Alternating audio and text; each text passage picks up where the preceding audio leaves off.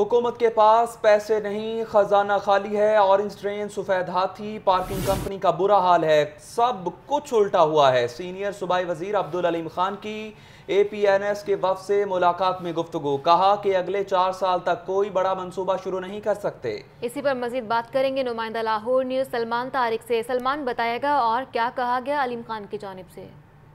نوے شہرہ قائد اعظم ایوان وزیر اعلیٰ میں اے پی این ایس کے وفد سے ملاقات کے دوران سینئر صوبائی وزیر عبدالعلیم خان کا کہنا تھا کہ جی حکومت کے پاس جو ہے وہ پیسے نہیں ہیں، خزانہ مکمل طور پر خالی ہے اور اور یہ ٹرین کو ایک دفعہ پھر انہوں نے سفید ہاتھی قرار دیا اور ساتھ ساتھ انہوں نے کہا خزانہ خالی ہونے کی وجہ سے اگلے چار سال تک کوئی بڑا منصوبہ پنجاب میں نہیں لگا سکتے اور ساتھ ہی انہوں نے اور ٹرین کے حوالے سے کہا کہ جی دو ہزار کی ٹکٹ کریں تو لاگت پوری ہوتی ہے، دو ہزار ٹکٹ پر بیٹھے اور ٹرین پر بیٹھے گا کوئی نہیں اور اسی طرح میٹرو بس میں بھی تین سو روپے فی شخص تک سبسڈی دی جا رہی ہے، پارکنگ کمپنی کا بھی برا حال ہے اور ساتھ ہی انہوں نے کہا کہ جی سالڈ ویسٹ میں بھی ایک سو دس ارب روپے سالانہ خرچ کیا جا رہا ہے۔ انہوں نے آخر میں کہا کہ جی پچانوے فیصد ملازمین جو ہے وہ کرپٹ ہیں کرپشن کا جو ناصور ہے وہ ہر طرف پھیلا ہوا ہے اور سب کچھ لوٹا ہوا ہے اس ملک کو ایسے کھایا جا رہا ہے جیسے کل نہیں آنا جو ہے کھائے جاؤ۔